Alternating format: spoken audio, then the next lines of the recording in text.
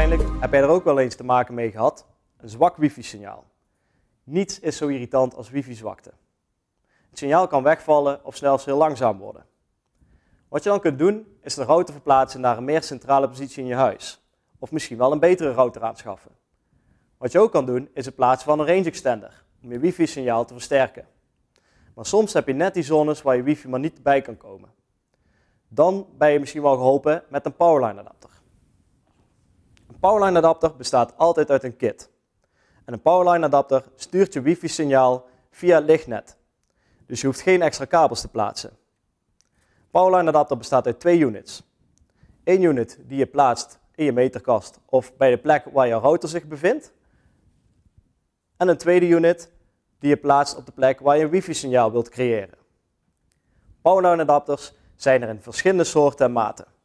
Je hebt gewoon adapters, zoals deze. Maar je hebt ook mini-adapters, die wat discreter zijn in je huiskamer.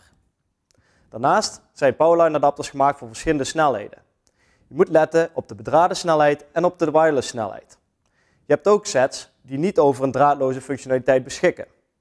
Daarnaast kan het handig zijn als je powerline adapter beschikt over een doorvoer, waardoor je eigenlijk geen stopcontact kwijtraakt. Een powerline adapter is voor de handliggende keuze als je op een gemakkelijke manier internet wil verbreiden. Je kunt immers zonder het trekken van extra kabels via het lichtnet je internet verbreiden.